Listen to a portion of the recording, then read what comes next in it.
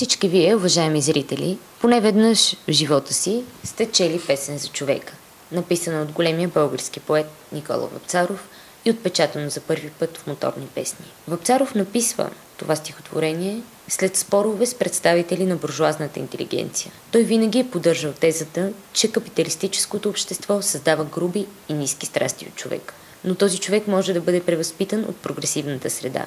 Човекът, когато описвам, казва той пред жена си, не е закоравял престъпник, рецидивист, а обикновен човек, потиснат от тъмните сили на капиталистическото общество. Той се подхлъзва изведнъж и сбърква пътя.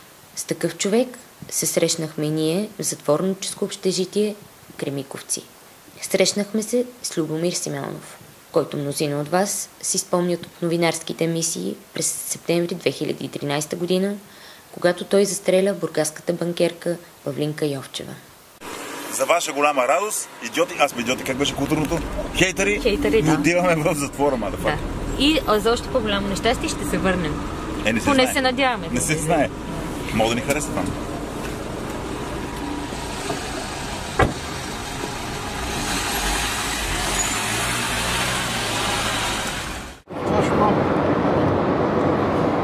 Ето го господин Стаменов Ама, и госпожа Димитрова, И господин Петелов.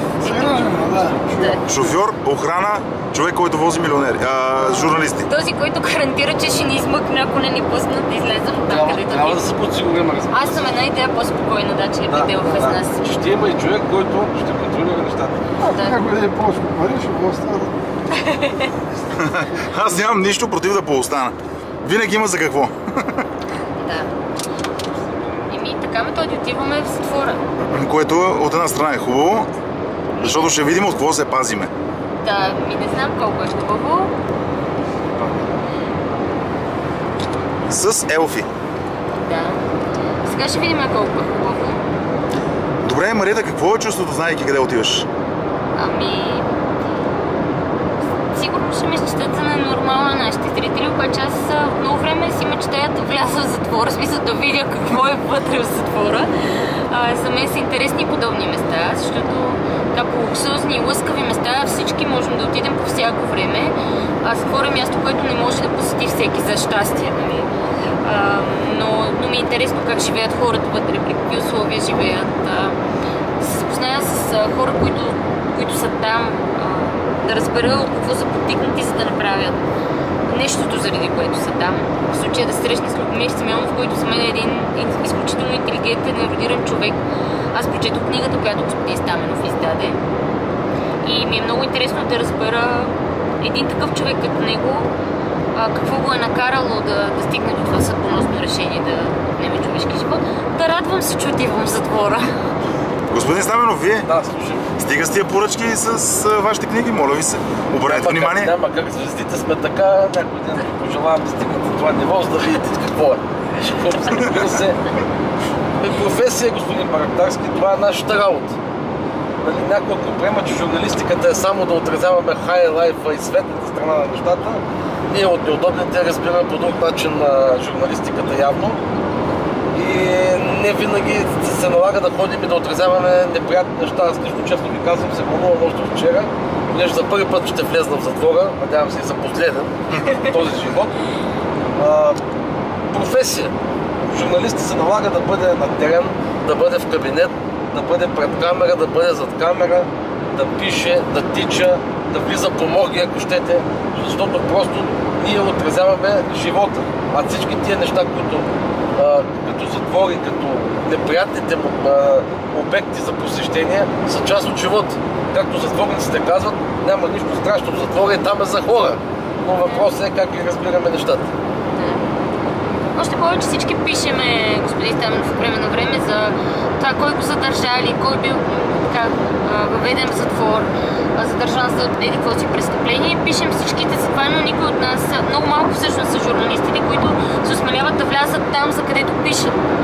Ние реално сега точно това ще направим. Ще, ще влезем там а, при хората, за които сме писали много дълго време че влизат там, за да видим как живеят, какво се случва с тях след тези наши новини, които сме тиражирали дълго време, след престъпленията, за които сме говорили, които са вдигали рейтинга на нашите медии. сега е време наистина да видим какво се случва с тези хора, как живеят те, защото наистина реално затвора също е за хора. Там има едни хора, които някои от тях така доста дълги години ще прекарат това място. И е хубаво да видим какво се случва там.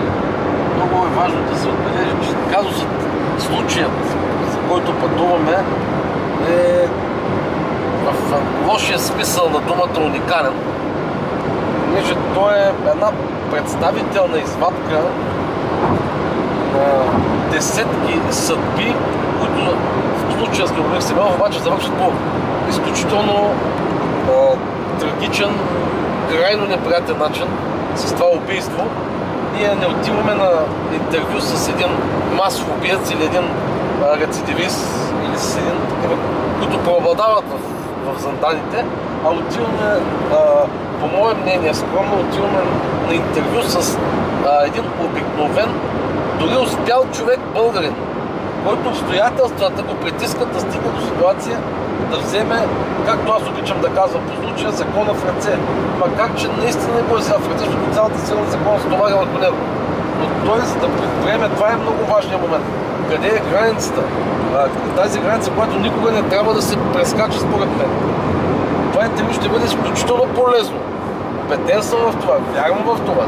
За много хора, защото такава ни е системата, такава ни е, щете и банковата система, че наистина довежда хората някой път до ситуацията да вземат да си мислят, че единственото им спасение е или те се хвърлят от някой мост, или да вземат пистолета и да гръмнат някого.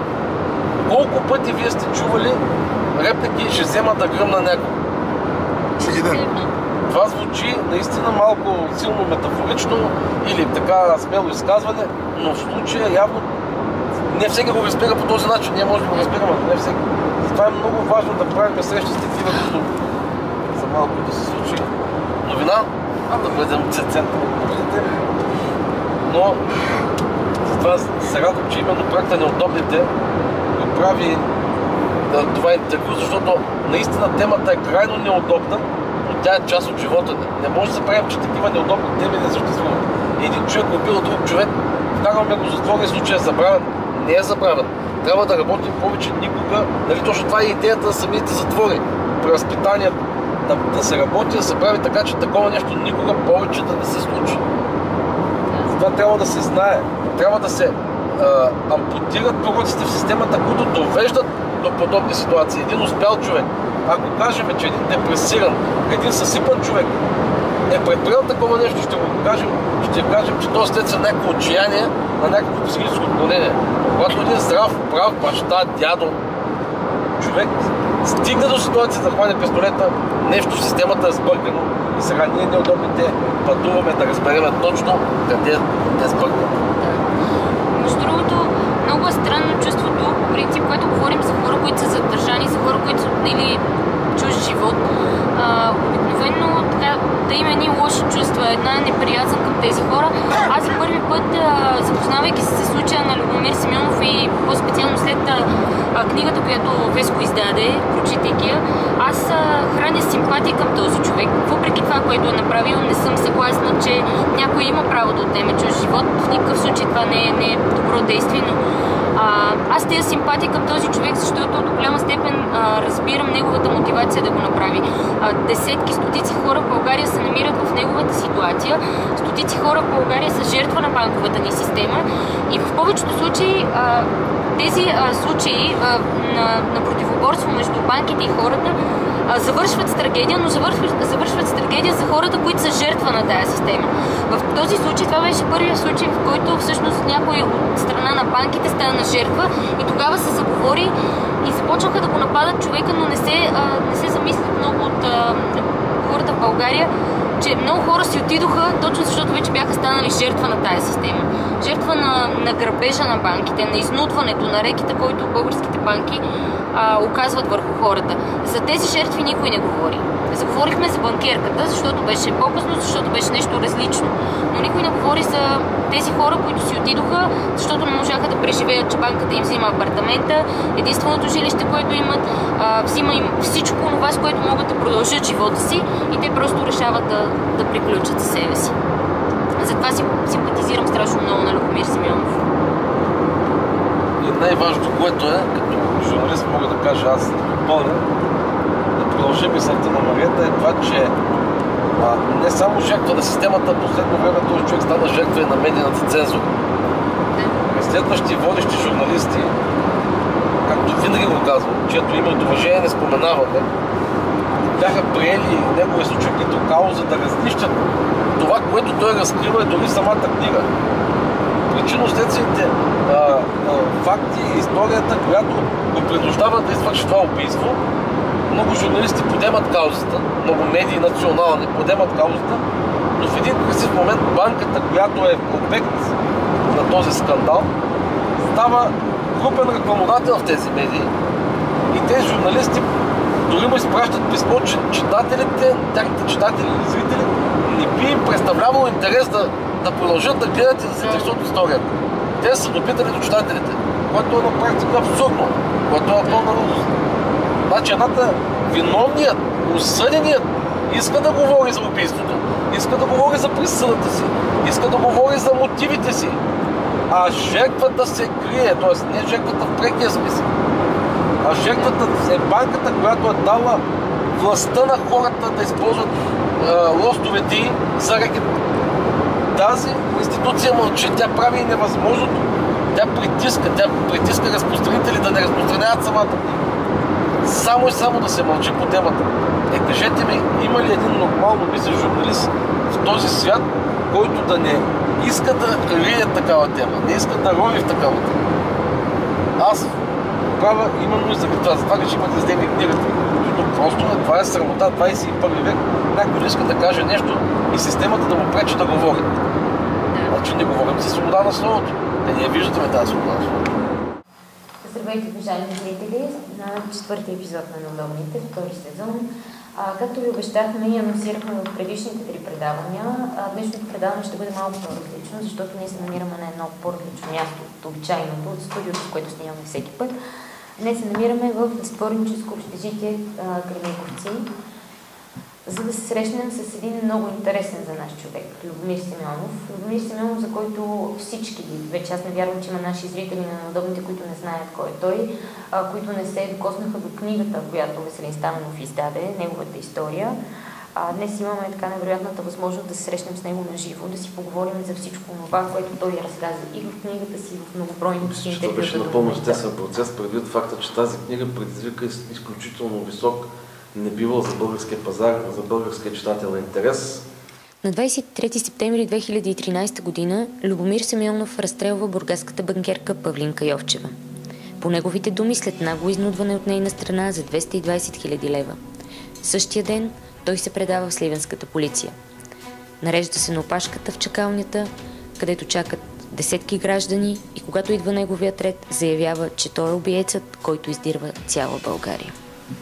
И създаде една полемика, която мисля, че трябва, след като е започнал, трябва да бъде завършена. Естественият път беше да минем през разговор, макар и а, не много приятен с авторът на книгата Любомир Семенов, защото а, темата не е от най-често срещаните, е най-приятните, да потребя пак тази дума. Даже много неприятна. Много неприятна тема. А, първо да питам как сте, господин Симонов, как живеете? Благодаря, бил съм и по-добре. Намирам се в затвор, не в пансион. Сигурно е нормално като за затвор. Ние ви благодарим, че ни приехте най-малкото, че съгласихте на този разговор с нас, защото със сигурност темите, за които ще си говорим днес, са теми, които вие сте говорили многократно, но със сигурност не са от най-приятните за вас. Никак не са приятни. Даже нямам дума, с която да, да охарактеризирам как се чувствам вследствие на това, което направих преди 4 години, на 20 септември. Но е факт, че на 20 септември 2011 година застрелях регионалния директор на Unicredit Булбанк в Бургас. И днес Любомир Симеонов казва, че съжалява за това, че е отнел човешки живот. Той обжалва присъдата си до трета инстанция, но не е размера на наказанието, а мотивите на съда, с които по негови думи се прикриват престъпници с бели якички. най-опасните за родина, общество и държава. За да, ако може да разберете как се чувствам, винаги съм гледал хората в очите. Сега малко ми е трудно, когато трябва да комуникирам с човек и в същото време си спомням това какво направих. Но един час по-късно се предадох в полицията в Сливен и казах, аз съм човек. Година и половина се борих с Unicredit Булбанк, с групата, която ме рекетираше и изнудваше, с ръководството на Unicredit Булбанк, с управление банков надзор на БНБ, с комисия по защита от е, конкуренцията, с прокуратура, преди това с районен съд Бургас. И аз ще ви бъда благодарен, ако ми дадете възможност да кажа въпросите, които няма да спра да питам. А, аз ще си нося кръст. Трябва да ви кажа, че е ужасно да отнемеш човешки живот. И може да ви звучи грозно, но нека някой да се изправи и да каже, трябваше да направиш и това. Няма институция в България, като започне от Уникредит Булбан, през всички власти, включително и някои медии,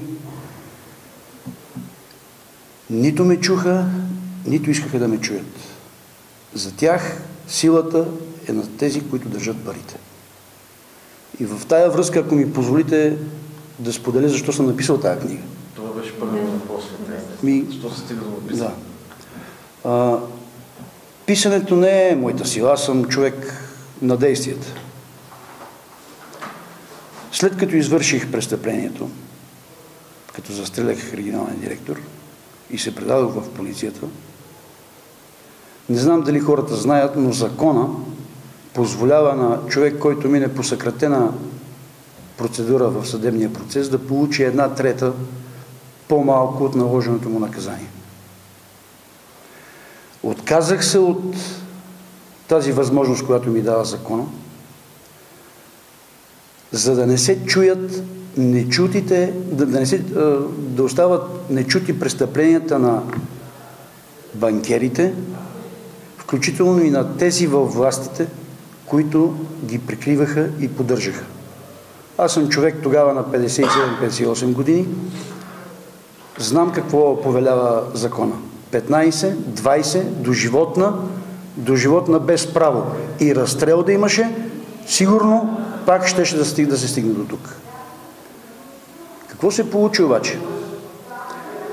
В обвинителен акт, който сътвори прокурора в, в Бургаска окръжна прокуратура, Йордан Кадачева, която преди това е наблюдаващ прокурор по моя жалба,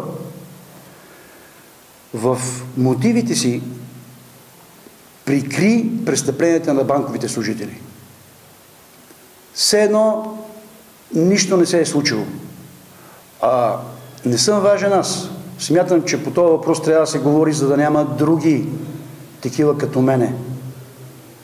Затова, защото престъпленията, които извършват пари имащите и власти имащите, предизвикват и ще предизвикват нови престъпления. Това беше и причината да напиша книгата. Затова, защото в обвинителния акт на прокуратурата, в мотивите на Бургаския окръжен съд, който наложи наказание от 20 години лишаван от свобода, аз съм обжавал до трета инстанция, но не размера на наказанието. Да отнемеш живот, винаги съм мислил. Такъв човек трябва да бъде наказан с цялата строгост на закона. Но прокурори и съдии прикриха престъпленията на банковите служители. Затова написах книгата. Затова, защото за убийството се говореше, но за причините, довели ме до това състояние, правеха всички възможност да не се чува.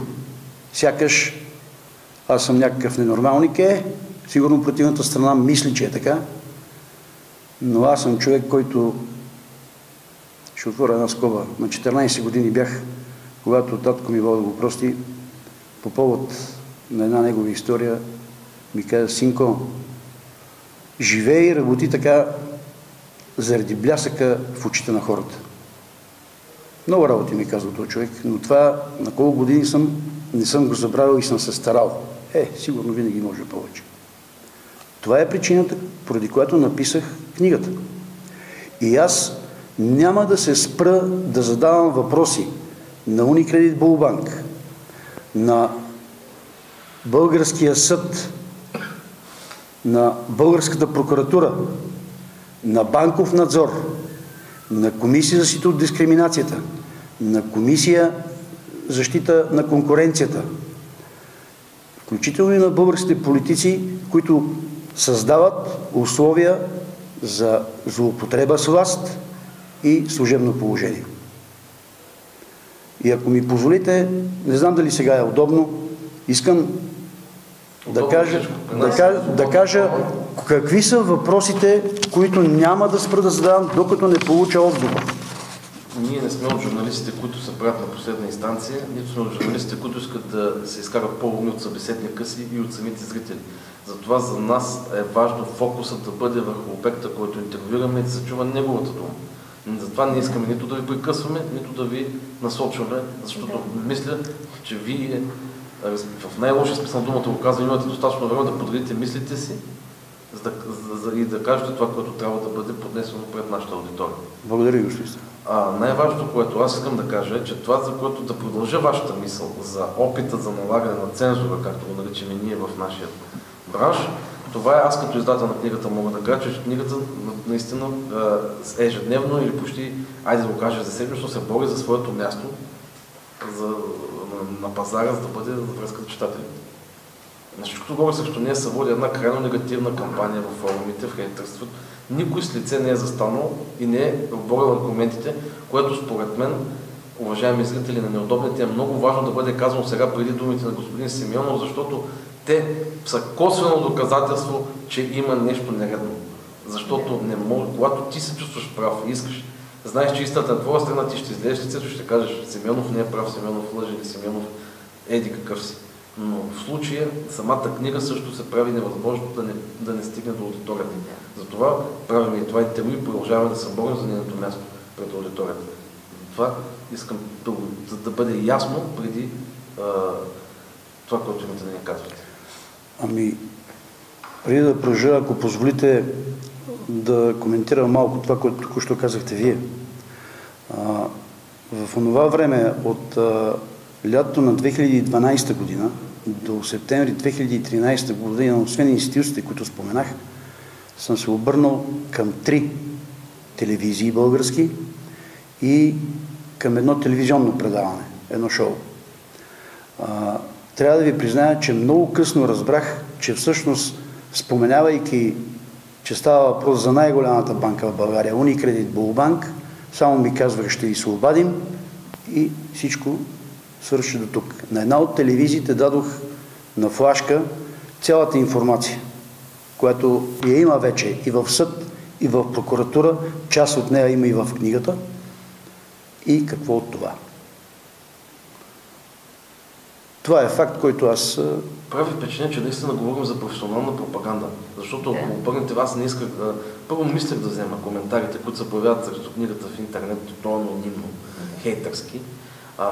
Прави впечатление, че единственият акцент, който професионално се опитва да бъде внушен като манипулация на масите, това е, че Любомир Семенов е престъпник, а издателя Стаменов е садист. Нищо повече, без аргументи. Без, примерно, да, той е престъпник, защото еди какво си, или той е лъже, защото е излъгал за еди какво си. Няма, казва се този престъпник и този садист. Аз сега което... се замислям, слушайки го Веско, че а, ако тези телевизии, тези медии преди години са обърнали внимание на това, което ни дава господин Симеонов като информация, ако бяха проверили, ако беше станало обществено достояние, а, колко по-различни биха били обстоятелствата днес. Само, че те не са имали интерес, тъй като въпросната банка е, е да, услуга рекламодател е в повечето национални телевизии и въобще. Когато става въпрос за един такъв скандален случай, пиарите на въпросната финансова институция, на въпросната банка се свързват с рекламния отдел на тези медии, Да. казват, ама ние имаме крещяща нужда да рекламираме при вас. Да. Ми чудесно, вашите пари са добре дошли при нас. Ама вие Да, там да, да. разследвате един ваш външен продуцент или ваше предаване, разследва Любомир Семенов, негови си- сигнали срещу нашата банка, дали е възможно да преосмислите. Те казват, преведете фактурата и ще преосмислим. Няма какво заблуждане, това е гопчивата Тоест тук може да кажем, че а, няма да е силно всъщност да кажем, че много от медиите са били съучастни в това, което се случва в обстоятелствата, които са довели до... Водещите разпространители казват, изпращаме писмо като издатели, казваме, предлагаме книгата на Любомир Семенов. Не стига, че и там са подложени на рекет, защото те искат 45% търговска стъпка, но ние сме приели като издатели каузата тази книга да стигне до маса хора. И казваме, вземете да разпространявате книгата. Дори те нали, даваме на 100% консигнация. Може ли да взема И участие? в един красив момент те мълчат. Не казват няма да вземем. Не казват а, не ни интересува Симеонов историята на Симеонов. Те казват «Ми, добре, издали сте добре. А, Претете заявка. Пращаме за... т.е. искане заявка. Пращаме искане заявка. Добре. Парадокс, т.е. абсурд, оксиморон. Но ето, то, то, то на практика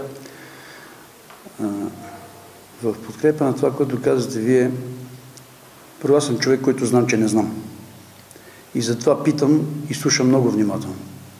В подкрепа на това, което вие а, казахте, един от хората, които обвинявам, се казва Екатерина Кирилова, която, беше по това време директор в централата на Кредит Булван. След като извърших престъплението, на определено място е казала колегите от Бургас, цитирам я, колегите от Бургас са се поизложили, затова сега трябва да плащаме на журналисти. И други приказки е казала, но това е достатъчно. И какво се оказа?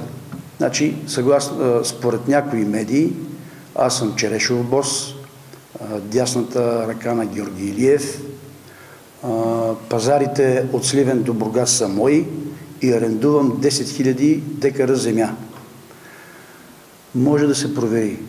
Аз съм управител и собственик на Ветоника ЕОД, която се занимава с износ, търговия на билки и лекарствени растения. Нито съм се занимавал с пазари, нито с череши, нито пък съм познавал хора от андерграунда. А, и в тази връзка манипулаторите по този начин разчитат на първичната мисъл на потребителя, т.е. на читателя, който да да. убийство, мафиот. Да. Дайте да му припишем един-два на мафиоти и проблема е решен. Въпреки, че хората не се замислят, че ако той притежаваше всичко онова, за което се говори, ако познаваше тези хора, Прокурорът нямаше да е тук, в момента че- нямаше да се срещаме тук в тази да обстановка. не, да не размиваме разговора, искам да се концентрираме върху вашите послания, господин Симеонов. Няма, благодаря. Няма да спра да задавам въпроси на Уникредит Булбанк.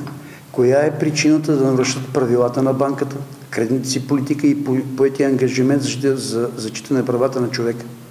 Коя е причината да подадете невярна информация към Централния кредитен регистр, за да се издаде документ с невярно съдържание? Нарушихте закона за кредитни институции, институции наредба номер 9, договорите, търговския закон. Коя е причината да откажете кредитиране поради високи складови наличности, като точно вие ме заплашихте, ме задължихте да ги увелича с договор? Три месеца след, след като входирах и 4 месеца преди да подпиша договора с Държавен фонд земеделие. И други въпроси има, но те са достатъчни. Към българския съд, в частност районен съд Бургас, член 417 от Гражданско-процесуалния кодекс отменя ли закона за задължения и договори? Отменя ли закона за кредитни институции? Отменя ли търговския закон и дого- и договорите между страните? Както и член 121 алинея 2 от Конституцията на Република България.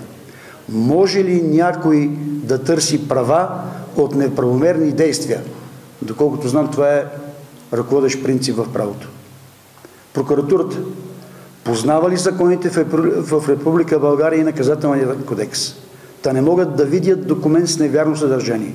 И какви факти за извършено престъпление е установила Комисията за защита от дискриминацията, та им е изпратила жалбата ми на основание член 59 от Закона за защита от дискриминацията. Кой следи за изпълнение и неизпълнение на служебните си задължения в България? Управление банков надзор. Коя е причината да откаже проверка по моите жалби срещу Уникредит Булбанк, нарушавайки закона за кредитни институции, собственици наредба номер 9? Коя е причината и допуснахте да се издаде документ с невярно съдържание за Ветоника ЕОД, удостоверение от Централния кредитен регистр към 31 януари 2013 година? Коя е причината Уникредит, Булбанк и Районен съд Бургас да нарушат хартата за правата на човека? Член 41, член 42. Правото на всеки човек да бъде изслушен преди да бъде предприята индивидуална мярка, която би имала неблагоприятни последици за него. Защо не ми предоставихте документите, които съм искал от вас преди и след убийството? Защо всички, които ви показах, в купом прикрихте престъпленията на служители от Unicredit Булбанк, извършени срещу мен? Това стил и метод на работа ли е в банката и в българските власти? Или единичен случай? А, трябва да ви кажа, че... Знаете ли колко страшно звучат тези въпроси? Ама тези, тези въпроси а, съм ги поставил и в книгата. А тук в тази папка има документи. А, има, ще отворя на скоба, има сега един, който се разхожда, депутат, който се разхожда по медиите и размахва разни документи, затова аз няма да ги размахвам, но след като спре записа ще ги покажа, ако искате снимайте ги. Ще продължим да си задаваме въпросите, които Любомир Семенов задава и днес. Въпросите, които е задавал и преди повече от 4 години. Много преди убийството на банкерката в Бургас. Ще продължим да си задаваме и други въпроси. Едни такива неудобни. Едни такива, които никой не желая да чуе. А, има част от тях в а, книгата, но поне ще видите оригиналите. Това са документи, които не са издадени от мене. Това са документи, които са издадени от Unicredit Bullbank и от управление банков надзор. Не, че нямам и на прокуратурата и на съда. Комисията за защита от дискриминацията ще изпълни решението на Софийския административен съд, с който се отменя откази им да разгледат жалбата им? И други въпроси имам и няма да спра да ги задавам. Трябва да се говори за това престъпление. Не заради мене, а за причините, които доведоха до тук. Така изброени в вашите въпроси, това са част от причините, предполагам. Те, О, разбира се. Мога да кажа, че поставят така още повече съвсем други въпроси относно а, живота в, в нашата държава.